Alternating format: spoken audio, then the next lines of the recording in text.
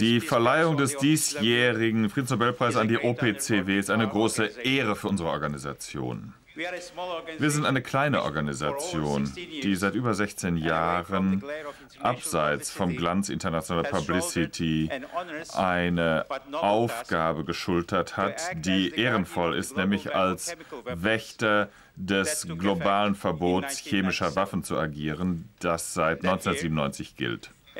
In diesem Jahr, 1997, wurde ein 100-jähriger Kampf vom Erfolg gekrönt durch das Verbot chemischer Waffen durch eine Konvention. Unsere Organisation wurde mit der Aufgabe betraut, die Vernichtung chemischer Waffen und ihre Abschaffung in der Welt zu überprüfen und, und alle Nationen dazu zu ermuntern, dieser Konvention beizutreten. Wir haben seitdem mit Entschlossenheit daran gearbeitet, der Welt, die Welt von diesen abscheulichen Waffen zu befreien. Waffen, die mit schrecklichen Wirkungen eingesetzt wurden im ganzen 20. Jahrhundert und leider traurigerweise auch in unserer Zeit.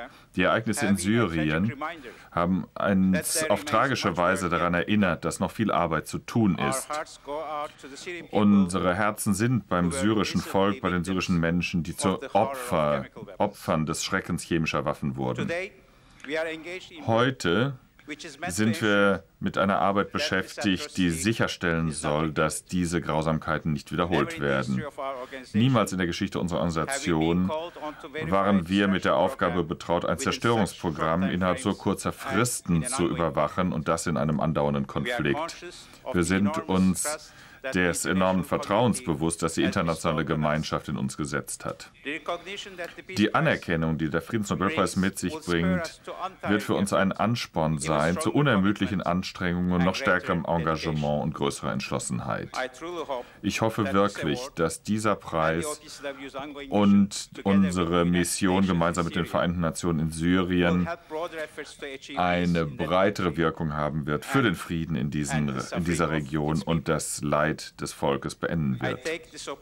Ich nutze diese Chance, allen zu danken, die beigetragen haben dazu, dass das Verbot chemischer Waffen eine allgemeine anerkannte Norm wird. Ich freue mich darauf, diesen Preis entgegenzunehmen in Bescheidenheit und in Anerkennung des Professionalismus unserer Mitarbeiter in der Vergangenheit, in der Gegenwart und in der Zukunft und als Beispiel für die starke Unterstützung seitens unserer Mitgliedstaaten. Vielen Dank.